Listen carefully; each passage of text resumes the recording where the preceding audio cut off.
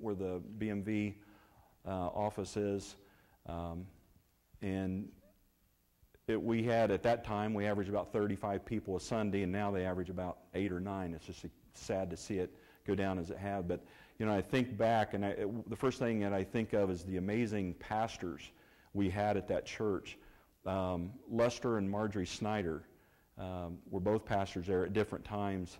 And when I was eight years old, I still remember I, vividly uh, sitting out in the congregation, and, and there was an altar call. There was several up front, and including my, my older brother. And I remember feeling a stir in my just in my soul that God was calling me. I knew of God. I'd gone to church my whole life, but I hadn't really necessarily stepped out and accepted Him. again, I'm eight years old, and I felt this hand on my shoulder, and it was Lester Schneider, and he had come around from the back, and he said, "Would you like to go forward?" And I didn't even stop to think. I just knew that was it, and I went forward and accepted Christ that day, and it's just been a, a journey since then.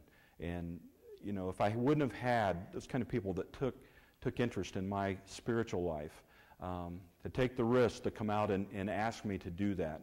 Um, you know, that, that's what it takes sometimes. And, you know, Marcel Thornburg, uh, another great man and wonderful pastor, have such fond memories of, of that church.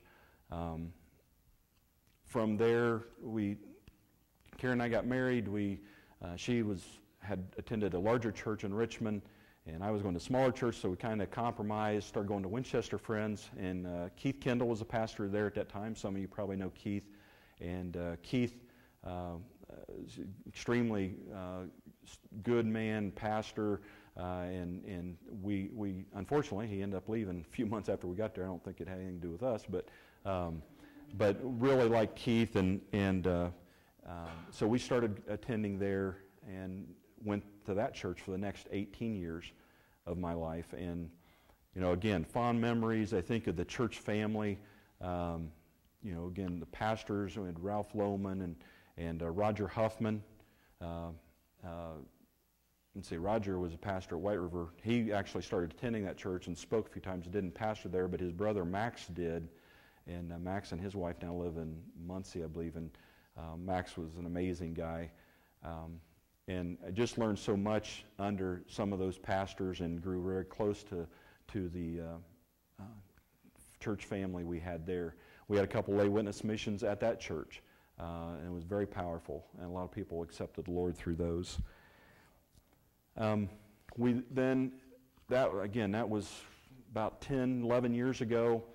Uh, at that time, we, my family was feeling like that God was calling us to do something different, and um, you know, we, we wasn't sure exactly what that was to be. I was on the ministry and oversight committee at that church, and we had a thing where each of our team members was going to go out and visit another friend's church. I had never been to this church. Karen had been. And uh, she made the comment to me when I said, Well, let's sign up and uh, we'll go to that church just to visit. And she said, uh, This will be a mistake because if you do it, you will want to go there. And uh, I said, Ah, we'll go visit. And I knew 15 minutes after being here that God was calling us to this church. And it wasn't because there was a, a powerful sermon or anything. I just felt the presence of the Lord in this meeting. And the church family here is so amazing.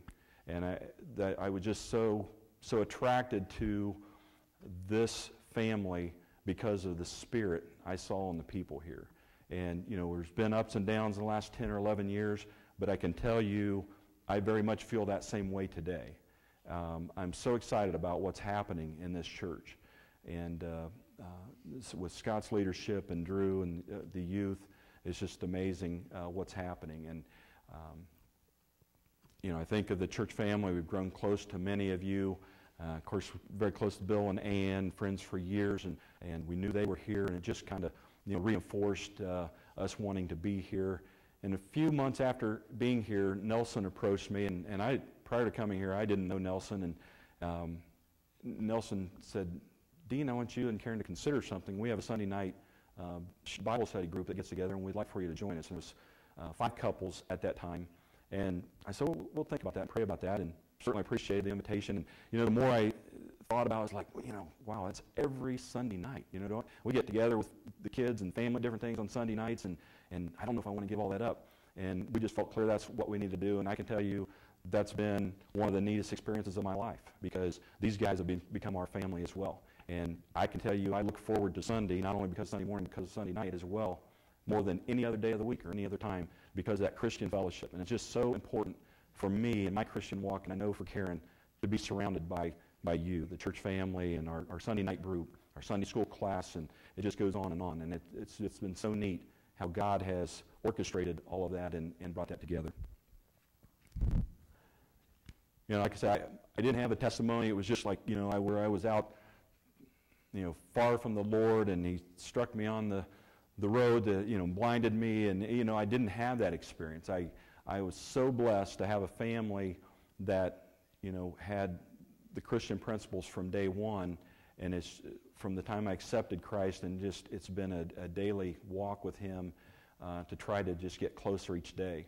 And, and I don't want anyone to think that, you know, wow, his life has just, you know, been pristine, no problems. We've had our share of issues. And uh, God has been there with us each step of the way and uh, worked through that. And I think if we got the scripture there, I want to put that up. I thought of the scripture I wanted to have up and um, to read, and it's the, the 23rd Psalm. Uh, Lord is my shepherd, I shall not be in want. He makes me lie down in green pastures, leads me beside the quiet waters. He restoreth my soul. He leads me in the path of righteousness for his name's sake. And, you know, as I think of my life, that is so true. He has always been there and led me through uh, each step. Even though I walk through the valley of the shadow of death, I fear no evil, for thou art with me. Thy rod and staff that comfort me. And you prepare a table before me in the presence of my enemies. You anoint my head with oil. My cup overflows. Surely goodness and mercy, goodness and love, in this version, I guess, will follow me all the days of my life, and I'll dwell in the house of the Lord forever. Again, we've had the valleys of the shadow of death in our, in our families. Um, you know, we've gone through tough times. We've you I'm 51. Karen, I won't reveal her age. She's a little bit older than I am. But um, we all, all our parents are, are gone. Our grandparents are gone. We have, I have one aunt and one uncle left, and that's the only older generation left in either of our sides of the family. We've had at a, young age kind of had to adopt to adapt to not have um, that older generation to turn to. Um, but this is our family, and um, I can't tell you how much each of you mean to me. And it's so exciting to see the youth. And I, you know, I think of how blessed I've been with the families, family I've had at home, and the parents and I know not everybody's had that. And I know some of you guys haven't had that and don't have that now. But I can tell you what you do have, and that's this group behind you. You have this church family, and you have the family of God, the Christians everywhere. But turn to this family. They will help you through. Um, I got a couple other family members I want to introduce. Aaron and Winston, stand up. I'm prayer parent for these two young men. And I want to tell you guys, you know, I pray for you every single morning, every day, every day. I know I don't text you every day because I'm not as good on that as I would like to be, but actually I don't want to be, but I do it. But I want you guys to know I love you just like you're my own sons, and I'm there for you every day. I'm praying for you, I'm lifting you up, and you can call me anytime. You're part of the family. So sorry to embarrass you, but you can sit back down.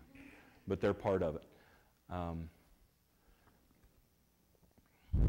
guess I've covered everything I want to want to cover. Um, like I said, I, I, hope it didn't put you to sleep. Uh, uh, it's not not real exciting, but my life has just been an amazing journey with Christ. Uh, each day, just taking a, you know, an additional step, and I fall every day. I make mistakes every day. And, but thankfully, I know the Lord, and I know He's there to pick me up. And I know He's there for my kids, uh, my adopted kids, and uh, I'm just so thankful uh, for all He does. Um, bow with me in prayer, if you would. Lord, I'm just so thankful for uh, the life you have given me and how you've been with me each step of the way. Lord, thank you for all the Christian influences in my life, not only my biological family, but my church family. Lord, this church family.